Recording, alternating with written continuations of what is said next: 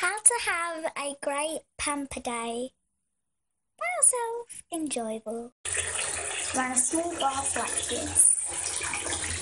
The and just put your feet there like so.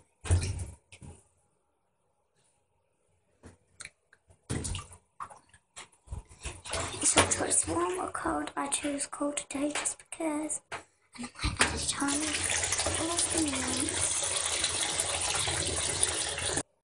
When your feet are really relaxed, just relax them more. If you like, you can even put foot scrub on, but since I don't have that, I'm going to use a body wash. That's what I'm using. After you put your foot scrub on, let it wash and soak. After you can even do a bit of facials, pampering.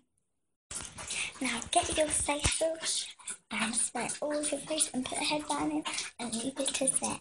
Then after like 5-10 minutes, wipe it off. Get your face wash or face scrub and put it all over your face. Now you got a face wash on and your headband to keep it back on your face. You can now go and let it set for a couple of minutes. Now that I've let mine set for a couple of minutes, I am now going to wash it all off my face. Be back in a sec. Now you've put now you've washed your face wash off.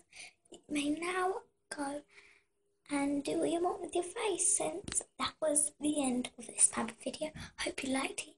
Enjoyed it. If you liked it, remember to give it a thumbs up and subscribe to this vlog channel. This wasn't a vlog, but it's the only way I can do it anyway. See you later. Bye.